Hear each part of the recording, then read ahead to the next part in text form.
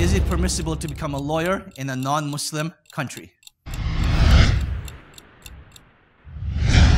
There's a lot of confusion around this issue, and this revolves around the verse where Allah subhanahu wa ta'ala says in Surah Al-Ma'idah who, that whoever does not rule by the rule of Allah subhanahu wa ta'ala, then they are the transgressors, they are the disbelievers, and they are the oppressors. So how do we reconcile this verse with those individuals that want to become lawyers?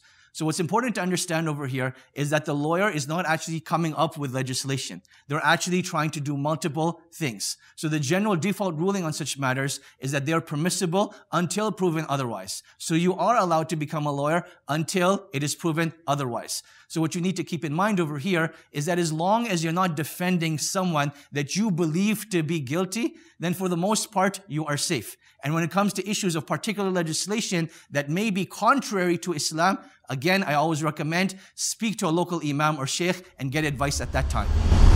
Subscribe to this channel, share this video, and click on the bell icon so that you can be notified with every new video at Faith IQ. Khairan. Wassalamu alaikum.